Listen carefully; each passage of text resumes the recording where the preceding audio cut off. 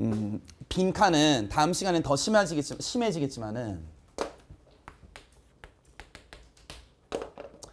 결국 이 싸움이야.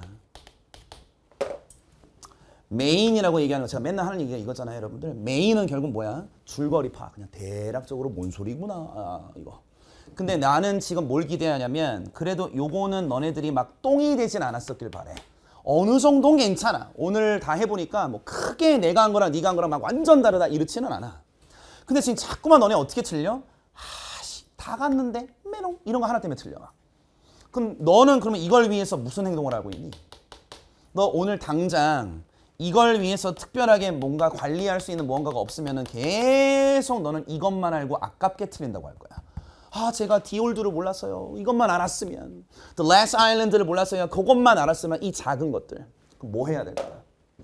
좀 가슴 아프지만 얘기할게. 앞으로 뭐를 딱 원칙을 딱 지키면 이런 것들은 다 잡아낼 수 있을 거야 라는 방법은 없어. 솔직히 이건 되게 작은 부분이잖아.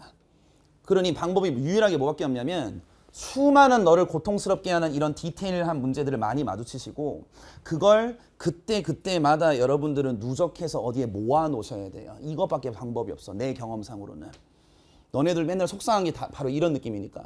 예를 들면 나 같은 경우는 어, 좀 무식하게 공부를 해서 고2 후반기부터 고3 때까지 독서실에 들어가면 애들이 수많은 문제를 쓱싹쓱싹 풀고 있을 때 나는 당일날 수업 들었던 것들 중에서 야 이건 진짜 와, 다 왔는데 이것 때문에 틀렸다라고 하는 녀석을 다 잘라서 갖다 공책에다 몰았어.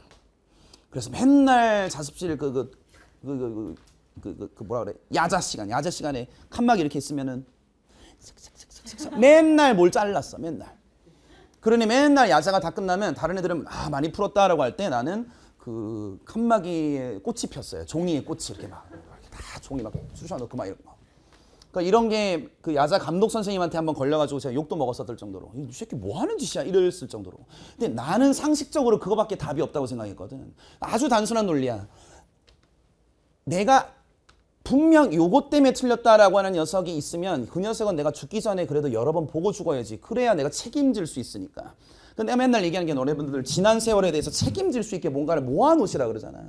그거밖에 답이 없었어요. 그래서 내가 제일 덕을 많이 봤던 게 뭔지 아니?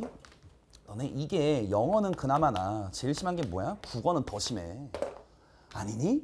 국어의 선지의 이 미묘한 차이 때문에 오답이 나오는 그런 경험 없어? 비문학 이런 거나 모문학이나 이런 것들? 나도 그것 때문에 되게 고통 많이 받았었어. 나도 정말 힘들었던 게 영어는 좀 자신 있었지만은 수학이나 국어 뭐 이거에서 특히 국어 점수가 너무 안 올라서 너무너무 힘들었었거든. 맨날 내가 모의고사 보면 점수가 뭐밖에 안 나냐면 국어 점수가 98 이 정도밖에 안 나왔어. 미치겠는 거야. 120점 만점에. 알겠지? 우리 시대 때는 120 만점이야. 갑자기 순간 120 만점에. 그럼 나는 항상 어땠게? 4등급, 3등급 맨날 왔다 갔다 해. 근데 맨날 틀리면 다 어떻게 틀려? 다 비슷하게 읽었는데 꽤 선지에서 자꾸 날라가 내가. 그게 디테일이지 뭐. 그래서 뭐밖에 나는 할 방법밖에 없었냐면 결국 비문학 공부했었던 거 이렇게 쭉 보면 처음에만 열심히 필기해 놓고 아 이건 무조건 다시 봐야겠다 싶으면 또 가가지고 쓱싹싹 잘라가지고 다 붙였어요. 근데 비문학은 지문이 졸라 기니까 잘라가지고 공책에 붙여서 접고 접고 접고 접어서 나중에 시험 보기 직전에 그 모아놨던 모든 것들을 계속 다시 보는 거야. 그러면서 아 이번에 이러지 말자 이번에 이러지 말자 이런 식으로 마인드를 세팅하는 거지 너네 이런 디테일은 솔직히 너무 인간적인 측면이 되게 세잖아. 내 개인적 실수 이런 게 좀 세기 때문에 뭔가 딱 하면 다 변화시킬 수 있는 이런 게 잘 없다니까. 그래서 지금부터라도 이거 하시라고. 뭐라도 모아놔. 그래서 제가 여러분들 계속 120점 만점에 98점 나오다가 공부 방법은 기억이 안 나는데 그냥 그 행동했던 거. 모아놓는 행동을 해서 수능까지 갔었을 때 제가 이거 어떻게 된지 아나? 118로 끝났거든? 딱 하나 틀렸어 하나 그래서 나는 그 기억이 아직 있는 거야 이, 이 디테일이 중요한 과목들은 무조건 모아놔야겠다라는 그 개념이 나는 아직 머릿속에 있으니까 그러면 나처럼 너네들도 그러면 뭐 이제 잘라서 붙여라 하는 건 아니야 그건 너무 약간 좀 무식한 방법일 수도 있고 또는 막 이런 거 막 다 쓰고 문장 쓰고 이런 것도 저는 별로 추천하진 않아요 처음에는 쓰다가 나중에 너네 못하게 돼. 어떤 느낌인지 알지? 처음엔 막 이쁘게 막 쓰다가 나중에는 아, 내가 지금 이걸 쓰는 게 지금 공부인가 막 이렇게 되게 되거든. 그럼 정 안 되면 뭐라도 해보시냐면 그냥 디테일만한 노트를 좀 하나 만드셔서 거기에 목록이라도 뭐 하나 목록이라도. 예를 들어 오늘 문제 같은 경우 V 빈칸에 챕터 1에 5번 3, 3번 4, 5번 선지 다시 보기 뭐 이렇게라도 써놔. 마치 장바구니에 너 물건 담아 놓으러 가는 것처럼.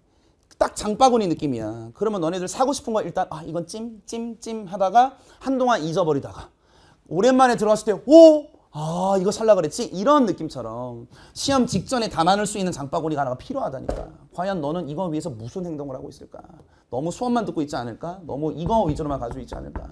딱 이 문제가 그거잖아 이 디테일이잖아 이거 이런 거 각각 이런 거 디테일이잖아 그런 것들 아마 이 수업에서 되게 많이 느끼고 갔을 것 같아요 네, 그 정도 자 넘기시고